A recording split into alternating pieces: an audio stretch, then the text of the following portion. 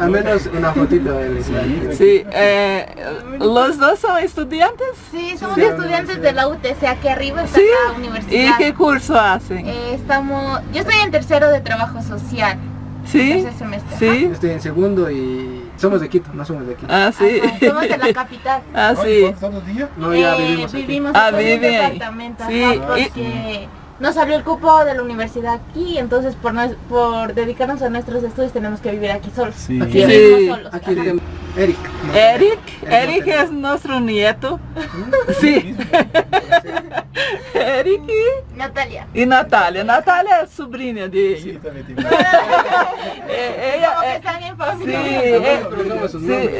Ella cursa medicina en Paraguay. Darcy. Natalia, sí. Darcio, Darcio ahí. Marilda.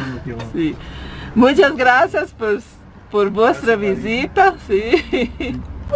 Sí, ahora nos hablan un poco más sobre volcán.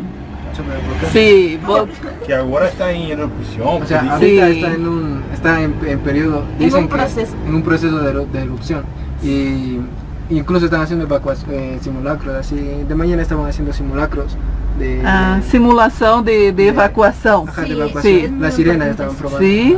Oh. cá cá?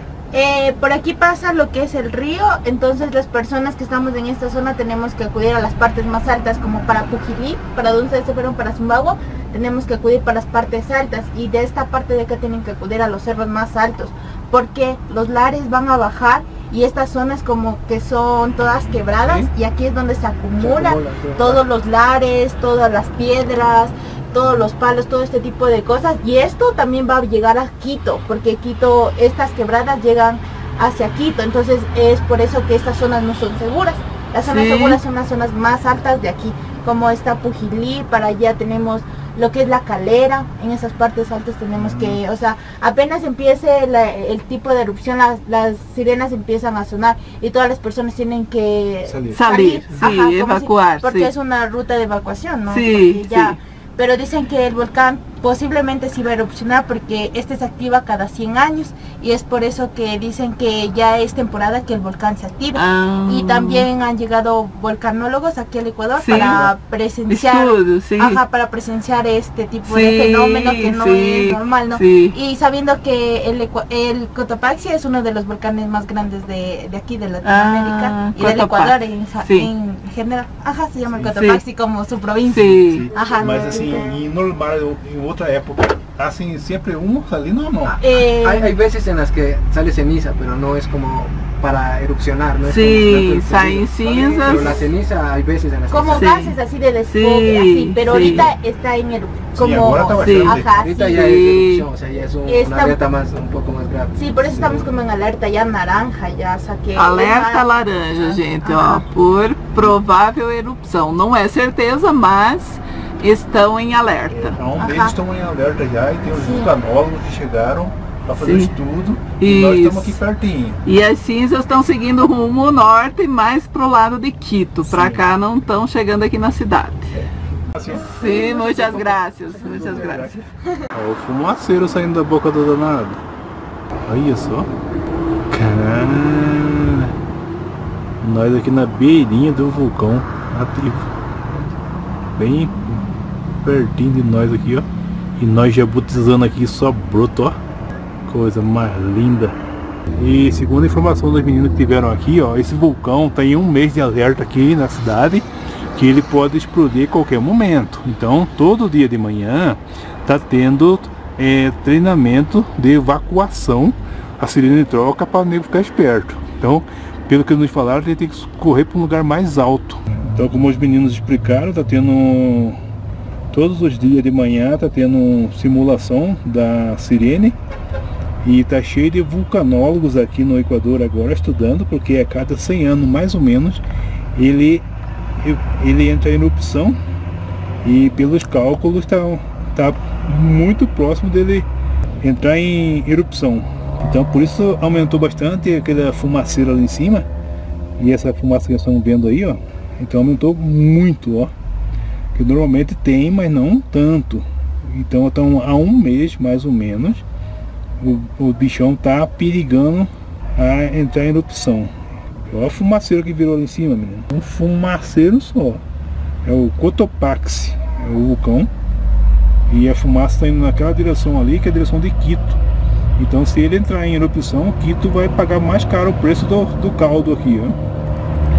E aqui nessa cidade onde nós estamos, nós temos que evacuar para um lugar mais alto, porque a fumaceira provavelmente com enxofre, essas coisas, como ela vem para dentro do vale, a chance de fazer mal à saúde é muito grande. E fora que vai cair muitas pedras também, lama, né? Lava. Então tem que ficar esperto. A erupção tá por um. Qualquer hora ela pode espocar.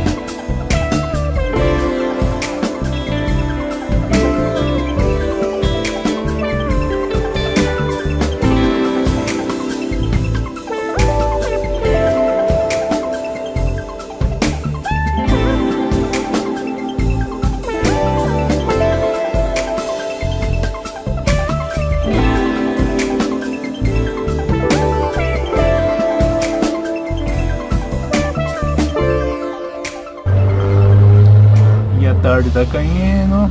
Aqui sentadinho na porta do motorhome. Só apreciando o fumaceiro saindo do vulcão. Ali embaixo do lado direito tudo neve. E lá em cima o bichão tá cuspindo fumaça. E o fumaceiro é grande, ó. O bicho é alto, meu. 5.900 de altitude que ele tem. É bruto, bichão. Alto pra caramba. Parece pequenininho, né? Nós estamos a 2.800 aqui de altitude e ele tá 5.900. Então a ponta dele lá em cima tá 3.100 para cima, 3.100 para cima. Então o vulcão tá 3.100 metros o pico dele acima do nível onde nós estamos aqui, porque nós estamos a 2.800. Ele tá a 5.000 897, 5.900 praticamente, soltando a lava lá. Então, para jogar uma gorfada de lava aqui nós, é facinho, facinho. E é nós, broto. Continuar vendo aqui, um fim de tarde bem bonito. Começando a cair a tarde já. O sol começou a parar de iluminar o bicho, mas está de ver ainda a saída, a saída da fumaça no topo dele.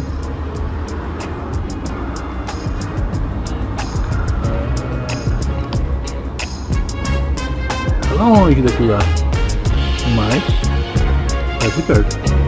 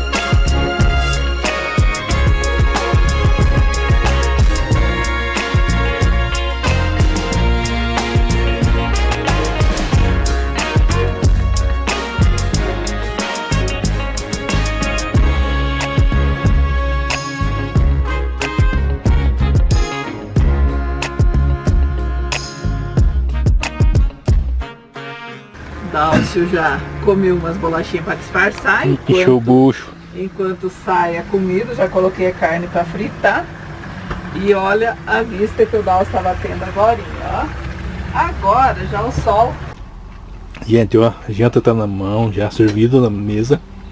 Arroz da hora, carne frita com cebolada, com pimentão, mamão para dar um, um tchan. Pimentão só pra mim, porque o Dawson não gosta. Não gosto mesmo não. Aí eu fritei bem do ladinho assim da carne. E o mamão tá servindo de salada hoje. Vai e um queijo. E o queijo, né? Pra comer com arroz. Bem perto do vulcão aqui. E o detalhe, gente, ó. Vou fo- fofocar agora. Me trinca a cara de vergonha, vou fofocar. A comida tá gostosa, mas vou fofocar. Vocês que viram a imagem nossa lá em Zimbábue, né? Zumbágua. Ah, nós dormimos lá na beira da entrada da cidade que desce assim. E tinha um monte de táxi na frente da gente parado, o pessoal. Tinha político lá, bagunça de político lá. Então, gente, ali naquele ponto, a 13 quilômetros, tá a Lagoa Quilatoa. Uma das um principal ponto turístico daqui do Equador. E nós não sabíamos. Chegamos agora aqui por acaso. Vamos ver, gente. Nós dormimos na porta 13 quilômetros. 13 quilômetros da entrada da Lagoa Quilatoa. E um monte de Não, táxi. 13 quilômetros da lagoa. Sim, nós, nós dormimos. É. E um monte de táxi ali e nós não sabíamos. Mas só que o detalhe. O Vamos ver o detalhe. O Dálcio ontem à noite consultou os pontos turísticos lá daquela região. Sim. E não apareceu, Não só apareceu. apareceu o Mirante E o, e o e Canyon. o Canyon. Só. Mas a lagoa, que é famosíssima, não apareceu. Na, nós viemos na embora. busca turística. E nós viemos embora. Agora chegamos aqui em, em, em Latacunga. A lagoa é lá. E a lagoa é lá. 13 quilômetros nós dormimos. Rapaz. Tá louco, nós estamos. Olha, me queima um filme, como minha mãe fala. Não queima meu filme não, meu filho. Puxa vida, que vergonha. Bom dia, povo feliz. Jabutizeiros que acompanham o canal Jabuti Motorhome pelo mundo todo. Depois de uma noite bem bacana, bem dormida. Levei só um sustozinho madrugada, mas foi coisa pouca. Passou uma ambulância por aqui buzinando à noite, uma sirene ligada. Logo depois eu ouvi um rapitaço, um apito aqui, apito caminhão, apito carro pequeno. O que está acontecendo? Levantei, vim aqui na porta, quando abri a porta, olhei para frente assim, meu, um engarrafamento gigante. Falei, meu, três e pouco da manhã. O que que tá acontecendo, né? A pulga atrás da orelha bateu, né? Pensei, será que o vulcão deu problema? Né? E tem esse- tá todo mundo aqui meio esperto já. Qualquer momento ele pode erupcionar, né? Aí fiquei 25 minutos parado aqui na porta olhando o movimento. Tá aqui em direção a Quito, pouquíssimos carros lá pra cá, congestionado tudo. Falei, meu, essa coisa não tá bem contada não. Mas era só o pessoal que daqui entrando pra cidade, os caminhões e carros menores, tudo carregado com mercadoria, acho que ia descarregar. Então por isso tá congestionado. Depois passou, fui deitei e dormi. Mas isso aí. E vou puxar pra vocês no nosso quintal de hoje. Tá? Bom dia pra todos vocês. Brotaiada.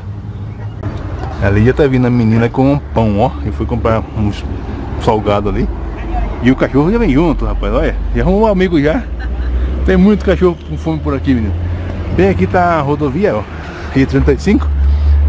E aqui é o posto que nós abastecemos ontem. Esse pátio aqui é um pátio gigante. Nós já pedimos para ele se podia ficar por aqui, falou que pode.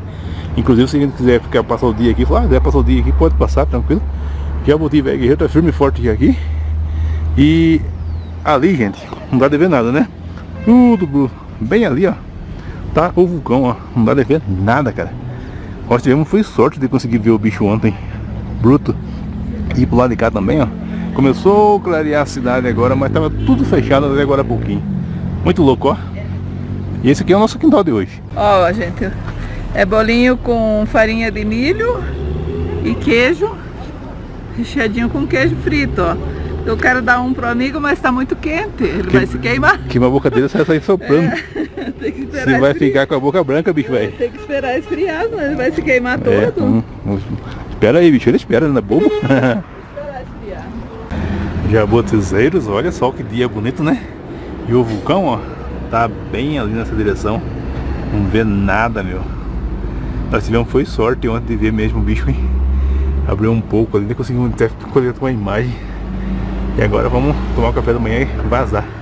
Como a gente não consegue daqui de longe ver o vulcão por causa tudo fechado, nós resolvemos então que vamos meter os pezão no Jabuti, ó, pôr o pneu para queimar. E diz, vamos voltar lá para Zumbaua. Vamos tentar chegar na lagoa, né? Enquanto não faz nada aqui, vamos voltar lá e vamos ver essa lagoa porque a bicha é bonita, hein? Então vamos lá. Olha que Bom fantasma, apareceu do nada. Então lá tem a lagoa Quilotoa, então nós vamos tentar chegar lá enquanto isso, porque a previsão aqui é 5 dias de chuva a partir de manhã. Verdade. Então nesse intervalo nós vamos tentar chegar lá e pelo menos ver a lagoa. É, hoje o tempo ainda tá melhor e depois são cinco dias de chuva. Então, até pra gente visitar o parque aqui, vai ficar ruim. Sim, não dá de ver nada. Verdade, ontem a gente deu, deu foi Sorte. sorte, porque a gente chegou, gente, e tava tudo fechado. Aí o Dó sentou a tomar chimarrão, de repente ele olhou, ó o vulcão fumegando lá. O maior vulcão ativo do mundo em é altura. isso, em altitude. E nós já tomamos café, já pegamos o caminho de volta lá para Zumbagua. E essa estrada aqui que vai nos levar depois para Quito, gente. A gente vai em Zimbágua e retorna aqui de novo.